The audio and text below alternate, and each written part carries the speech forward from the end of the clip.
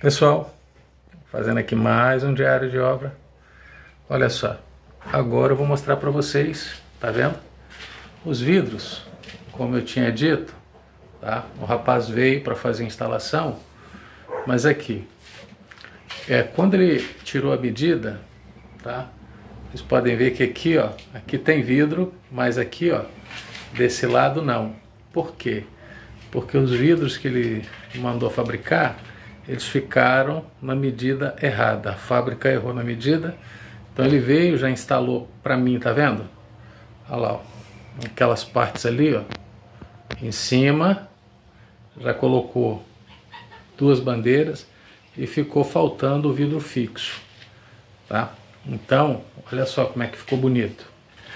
Olha lá, lá no fundo, ó, uma janela com dois metros de comprimento lá, aqui uma outra com dois metros de comprimento, olha o detalhe, tá vendo? Olha o reboco que esse pedreiro aqui já fez. Então, apesar de não ser pedreiro, mas eu já reboquei a parede ali, tá? Porque o custo ia ficar um pouco alto, então decidi eu mesmo fazer. Então, ó, uma janela de dois metros lá, uma janela de dois metros aqui, outra janela com dois metros aqui desse lado, tá vendo? E também a situação é a mesma. E ali atrás, tá vendo? Uma outra janela com um metro e meio. Por conta do... Ali atualmente a gente tem um galinheiro. Mas eu vou retirar o galinheiro dali e nós vamos botar, né? A lavanderia vai ficar daquele lado ali.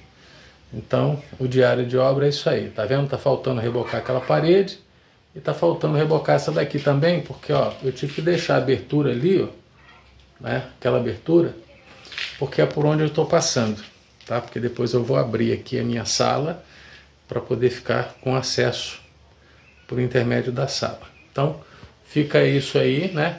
Esse diário de obra para vocês. Então, hoje eu vou mostrar as janelas prontas, certo? Só está faltando as bandeiras fixas mas já é um avanço. Então é isso aí. Você gosta desse tipo de conteúdo? Sim? Já deixa aqui o seu like, já faça aquele comentário e também já me segue. Poxa, afinal de contas, nós também é, gostamos de fazer a janela com dois metros, aquela parte de cima lá, tá vendo? Aqui, ó, reboco, mas aquela parte de cima lá, eu vou fazer um fechamento com madeira para ficar uma coisa assim bem bonito, bem rústica, estilo roça mesmo, porque para quem mora na roça tem que fazer assim, ok? Olha lá, que maravilha. Uma janela enorme, janela com 2 metros de comprimento, tá vendo? Ela fica linda. Olha lá, aquela de lá também, tá? Excelente, excelente. Um trabalho de primeira qualidade.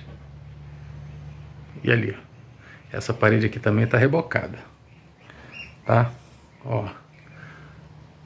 Ali, ó, a parte de cima nós vamos fazer o fechamento depois de tudo aquilo ali, ó. Pra ficar bonito.